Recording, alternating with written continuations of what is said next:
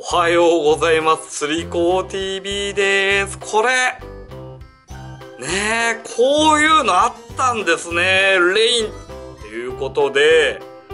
ここね、ちょいちょいいいルアーね、海釣りコーナーに見つけることができるんですけども、アジマタシャットってのがあったんですね。俺ごめんなさい。知らなかったんですけども、アジに効くって書いてありますけど、で、えーデプス、えーレインっていうね、このね、えーシールが書いてあって、ね、ブルフラットのね、小さいやつとかのね、やつもありますけども、あとね、アジアダーとかもね、あるんですけど、すごい感じのやつね。あ、まさかね、このね、坂又シャットのマイクロベイトサイズみたいなのがあったって知らなかったんで、これね、えー早速ね、買ってきてみましたよ。ちょっとね、一個出してみたいな。これをどう、こうか。よし。ビッて、ビッて。開けると、ねうわー、綺麗に入ってるけど。ちょっともう全部出しちゃうかな。やべえこれはやばい小さいけど、ねえ、坂又シャットしてますね。うわあーもうちょっと手の色と同化しちゃってますけどもこんなにいっぱい入ってるしそんでもって見てください。このなんだろう小さいんだけどしっかり坂又シャットなんですよね。このちょっとあー映るかな。この耳のようなところね。この突起もちゃんとあるし裏にフックホールもあるしねえ。ここまで小さな針は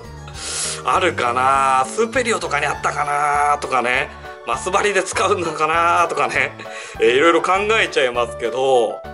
あーねあのデプスのねあの動画とか見てると坂又シャットのちょっと小型サイズとかデプスでもあの開発が進んでるよなんていうねアナウンスがありましたけどもまあなんか怪しいなと思ったらねレイズの 海釣りコーナー探すとねこういうのがね急にいたりするんですよね。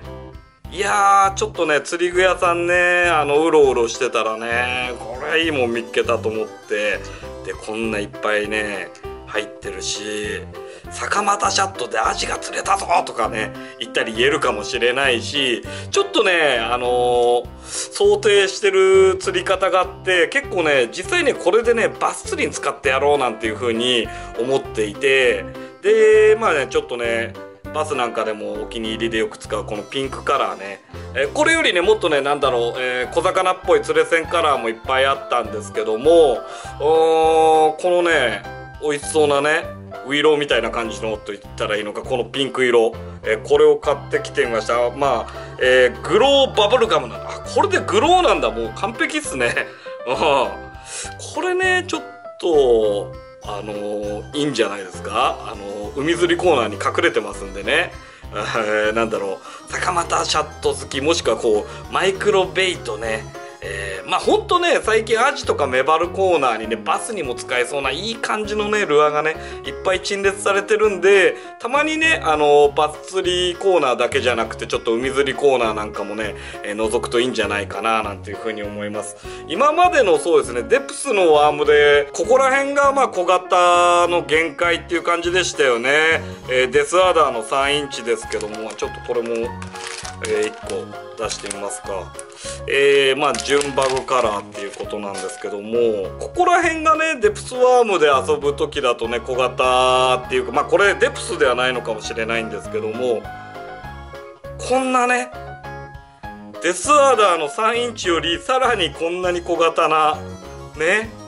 こういった感じのがね選べるようになってきたっていうことでまああのコラボレーションっていうことですけどもまあねデプスもねもちろんねこの形を作り出したねメーカーですからね。あーこの絶妙な小ささでしっかり逆股してるってのがいいですよね。でまあアジアダーはねもうちょっとねこのねデスアダーとはまたちょっと違った感じの形なんですけどまあそのうちねあの買ったのとかあるんでまたご紹介していければなと思うんですけどもちょっとこの小型のねデスアダー3インチでやろうかな一番小さい釣りをって思っていたんですけども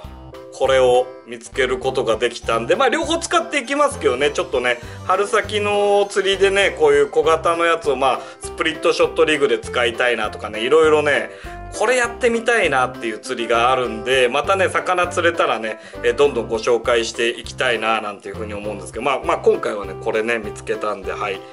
こんな感じでいっぱい